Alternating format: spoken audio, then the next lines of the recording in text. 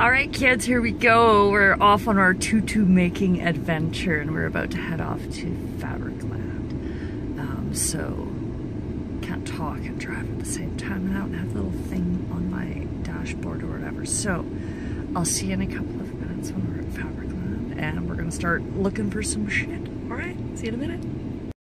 All right, so we just got back in the car from being in Fabricland. I totally forgot to video I was so excited when I saw the things of Tulle on for like 60% off. So this is what I got. It's craft netting, but it'll still work. It's 10 bucks for the whole roll, and they're 60% off right now if you're a member at Fabricland. So this was four bucks. Okay, get yourself like a headband or some elastic, something to tie it around, and you can make your tutu for like five or six dollars. Um, I also got this one. This is tall. They don't have very many colors that'll glow in the black light, but they did have a couple of these really bright lime apple greens, and this one should glow. Uh, this is also 60% off. This price tag is $7.49. This one is tulle, and it's usually made for making the tutus. Um, so I'm gonna be mix matching tulle and craft netting and whatever, because it's the right colors. I can put it in strips, and we can do some shit with it. So yeah. All right, well, um, see you at home when we start building our tutu. Yes. Hi, everybody. So here we are making our tutus for our little event on Unicorn Aerial Blacklight Night. Uh, so what I did was, you saw from the little clip before, we have this netting. Now, I have purchased both netting and tulle, and they give you different results. So I wanted mine short and spiky and nice and stiff. So that stuff's labeled as craft netting. And I have cut strips that are about 18 inches long. Okay, now the longer the strip, the longer the tutu, and the drippier it will hang. Now, the shorter it is and the crustier the netting, then the more it's going to stick out and be rigid. So you take your fabric, fold it in half, and pinch it at the fold line and I'm going to take and loop my finger in like this. Okay, so I've just looped it around my finger, and now I'm going to take this, and as you can see on my mannequin, um, pull it further, closer together.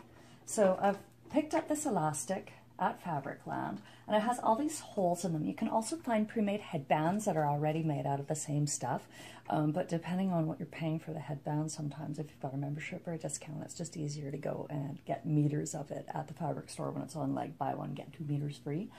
So we're gonna, anyways, take, you can use a hook, you don't need a hook Okay, take it, make the hole bigger with your other hand. So I take my middle finger behind and I actually pull down with the tip of my finger and fingernail, stuff the other piece through, pull it through the back side, find where the separation is in the loop of the fabric, and then you're gonna pull the tails through the loop and cinch it up.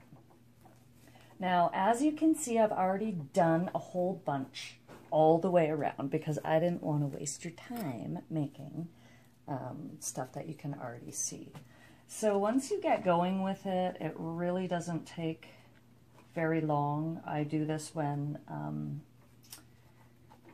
right before bed when the hubby is watching something stupid on TV like Ice Road Truckers or Pawn Stars or um, Ink Masters or whatever, all that other good stuff. I mean, sometimes I watch it, but hey, you don't really need to watch it. You can listen to it and get the gist. So I sit there and I make shit. And this round is our tutu.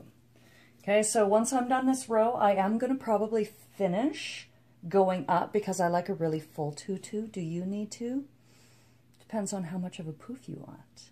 Okay, so uh, be back in a couple minutes. Hey everybody, now that we're on the second row, now we do want some type of a hook. You can use a latch hook or a large crochet hook.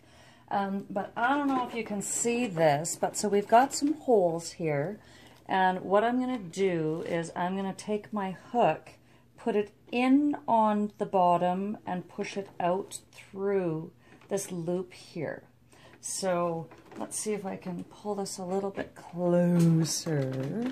I'll try and hold it at an angle while I do this. So I've got my tulle, I'm folding it in half. Ah, there goes my mannequin. Okay, here are the two holes that I'm going to go through. Wait, where are they? Here they are. So I'm not going to go in the one that has already been used from the first layer. I'm going to go one row up, pull it out, okay, stick it through just like that, hook the fabric, give a pull here, and look, you've got your loop, same as the first row, pull the tails through. Now once you get going at this, it doesn't really take too long. And I will do a couple here so that you can see. I want to say I can make one of these tutus in about, mm, I don't know, if I've already got all of my strips cut, then it'll only take maybe about 20, 30 minutes or so. Of course, that is 20 minutes of your life you'll never get back, but at the end of the day, you've got a tutu either for yourself or for a little one. Okay, so, um, yeah, I'm going to finish this off. Okay, everybody, so here we are. I finished the second row all the way around. And doesn't it look adorable? Let's just back it up. So, see boop. So there is a two layer. I did two rows around there. Now some frequently asked questions. But Crystal, does it matter if all of my pieces are the exact same length? Do I need to measure them? Mm, no. Uh, hey, Crystal, does it matter if I get the fold right in half and that's the part that loops and that each side is perfect? No. I purposely guesstimated every single piece and just approximately folded it in half, stuffed it, whip, whip, whip. Um, and you can see that it doesn't really matter. It actually kind of adds to the extra poofiness.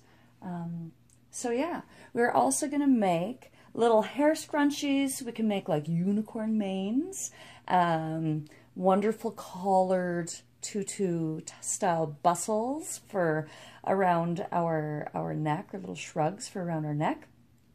And I think I might make some little ankle poofs too. So, you know, ankle poofs and like wrist poofs. And then I could feel like a prize little unicorn. I can't wait to toss the hair around. All right, guys. See you in class.